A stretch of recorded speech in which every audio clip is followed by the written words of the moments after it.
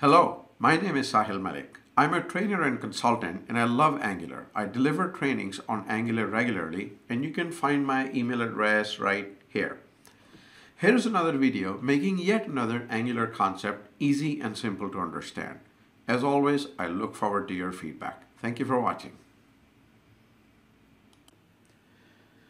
Now, in a previous video, I just talked about building the world's simplest Angular application using System.js. Now, that was all good, but let's also see how we can write literally the same application using Webpack. Now, just a quick intro of what I saw in System.js here. There was an index.html that was referencing these polyfills.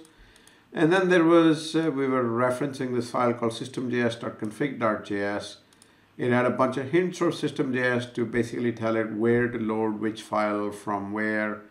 And then the package.json had got these scripts. Were using lite-server, TypeScript compiler, running them concurrently. You can see the details of this in the previous video.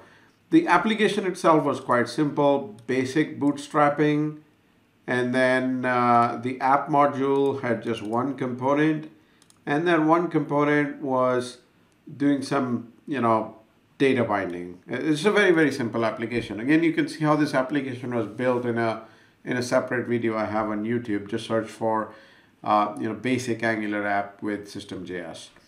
So I'm going to go ahead and close this folder. And so this is called AngularJS System J, Angular System.js. So I'm going to go ahead and create a directory called Angular Webpack.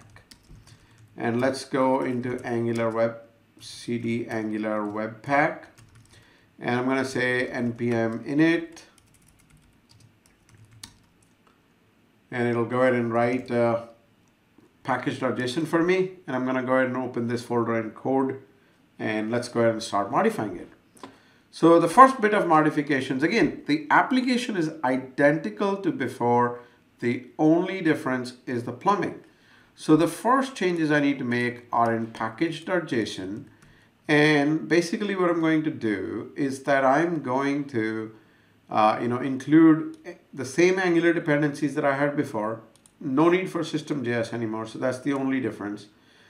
And then I am referencing you know, these same types, etc. But I'm also referencing Webpack and Webpack related stuff like the loader, etc. You know, that's what I'm referencing here. And then I have some commands, uh, TypeScript, TypeScript watch. That's basically to make sure that, you know, the project compiles before you start it. And then I'm using this thing called Webpack Dev Server, which is another node package reference down here. And I'm pointing it to a webpack config.js. So let's go ahead and write that up. So I'm going to say new file webpack config.js.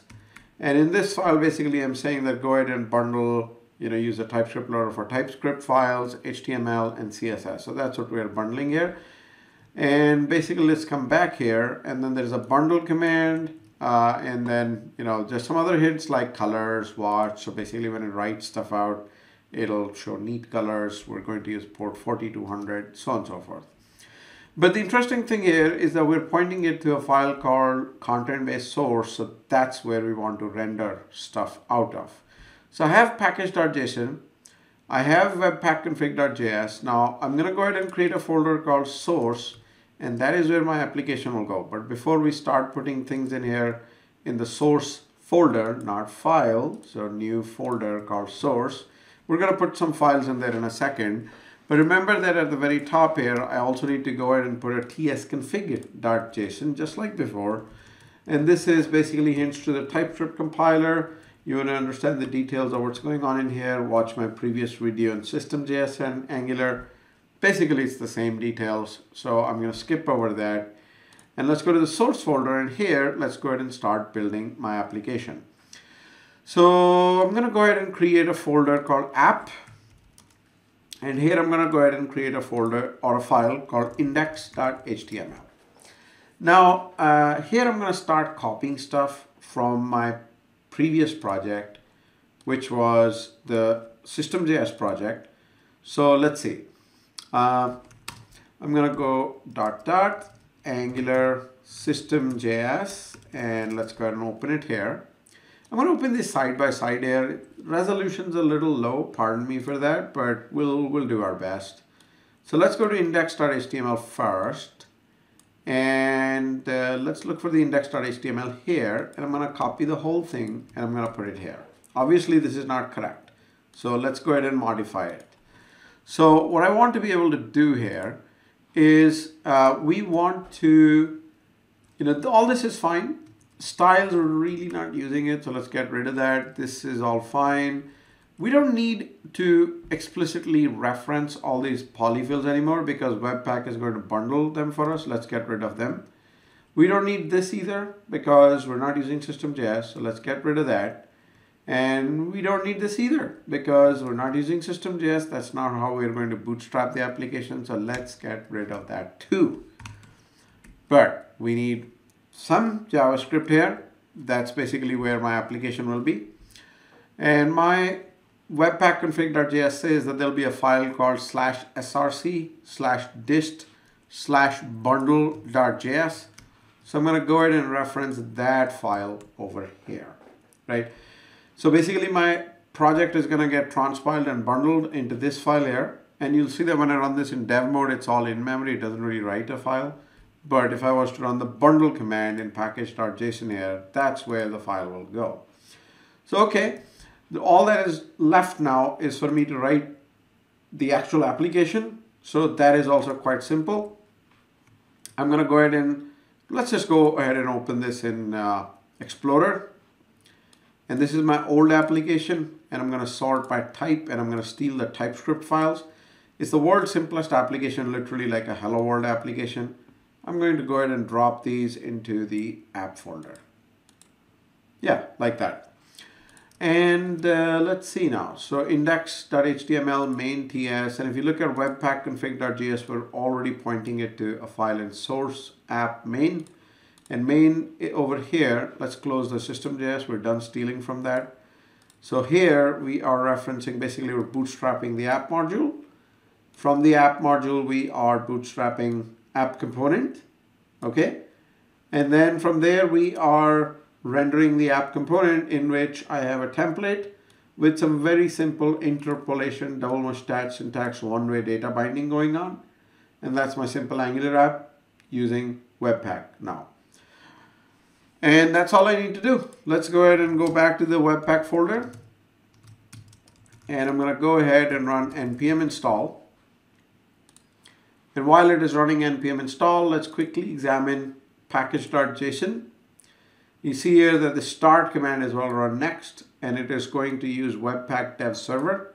It is going to point me to webpack config.js which has all the information necessary to basically create a bundle here. But when I run this in dev mode, actually it doesn't write the file. It's all in memory. We'll see that in a second. Let's give it a second. Wait for npm install to finish. And once this finishes, we say npm start.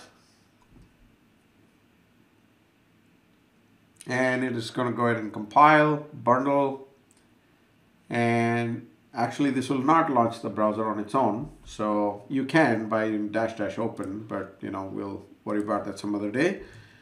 And I'm going to visit actually localhost 4200 and it bombs. What's going on? Go to console and it can't file that and that's fine. Oh yeah, so see what's happening here, and this is important. So what's happening here is that reflect metadata in Zone.js is required to run this application. Now, when we were using System.js, this was not such a problem because we were referencing Zone.js and you know reflect metadata explicitly. Uh, we're not doing that here anymore. So what I'm going to do now is that I'm going to basically create two import statements here. You know, we need to sort of tell this uh, uh, Webpack, we need to tell Webpack that, you know, these two files also need to be bundled with our application. So in our main TS, I'm going to go ahead and include them. And I come here and it's automatically detects changes. It is loading the application again and it runs just like before. Debugging is slightly different. In order to debug, you look for the Webpack node, go to dot, open here, And then let's look for app component just like before on line 23. I'm going to go ahead and set a breakpoint here, refresh, and it hits that breakpoint, life is good, right? So debugging works. Now my application is running with Webpack and now I've added one facility that I can bundle the application in order to ship it. So that's nice. Again, however, is this a complete Webpack template? Not really. It doesn't package images. It doesn't pack, uh, you know, it doesn't create multiple modules, multiple JavaScript files for lazy loading. It doesn't understand tests. It doesn't understand Sass. And we could keep enhancing this Webpack based template. That's one way of doing things. Or we could just piggyback on somebody else's shoulders. And that somebody else is Angular CLI. And I'll talk about that in the next video. Thank you very much for watching.